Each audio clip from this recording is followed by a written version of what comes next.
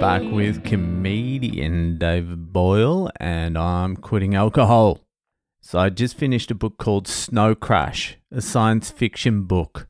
I thought maybe I'll start reading science fiction, keep an eye on these fucking nerds, and see what they're up to.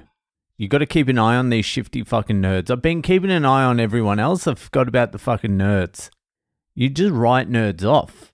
You're like, what can that skinny, anemic little cunt do? But it turns out fucking nerds are the most dangerous cunts on earth. This snow crash, it's pretty much the world that's coming, technology wise, anyway. It's the book that coined the phrase fucking metaverse. That's where the metaverse comes from, this book called Snow Crash. Trust me, all the nerds know about this book. Fucking Jack Dorsey was talking about it the other day. It's like Tim Ferriss's favorite book. Elon Musk fucking loves it. So in this book, they've got the metaverse, and basically, it's the same as they're trying to build now. But this one is fucking like legit.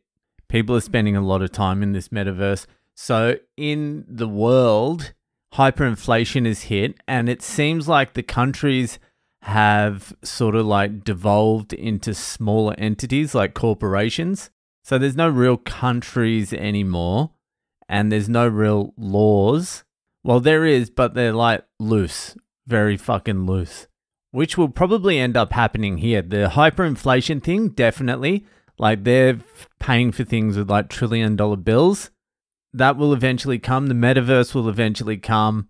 Breaking up of these huge nation states will eventually come. They've got like Neuralink in there as well. Basically, they've got fucking all the technology that's just about here and it was written in 92. So, how long ago was that? 30 years, 31 years. So, it's pretty good predicting. I mean, none of that shit was around then. And I suppose if you read it back then, this book would have been fucking amazing, but science fiction fucking sucks. It's so fucking lame. it wasn't exciting at all. They tried to make it exciting, but nah the way fucking nerds rave about this book, I I just don't get it. Give me a depressed character with introspection any day of the week over fucking some wow technology. But I'm going to stick with science fiction for a little bit. I'm going to read that Ready Player One and then I don't know what else there is. I'll read some other shit because even these nerds like Jack Dorsey, the guy who fucking invented Twitter, He's like, if you want to know what the future is going to look like, just read science fiction. It's all in there. The nerds read those science fiction books and then try and fucking build it in reality. And I think that's fucking true. It happens all the time. It will come out in a book or a movie, and then the next thing you know is fucking in reality. Unless it's some sort of fucking like preconditioning fucking psyop going on. That's the way I lean. if it doesn't make sense, my first fucking intuition is psyop. Everything's fucking psyop to me. I was watching MasterChef the other day, and this I I think I spoke about this in episode like 289 or something like this. But I was watching MasterChef the other day, and for some reason, I don't know why, they were going in between shots and they managed to fucking squeeze in just like one or two seconds of footage of the sky and an aeroplane going through the sky with like that contrail, like the chemtrail fucking thing. And whenever I'm watching fucking mainstream TV, which isn't a lot, that will pop up.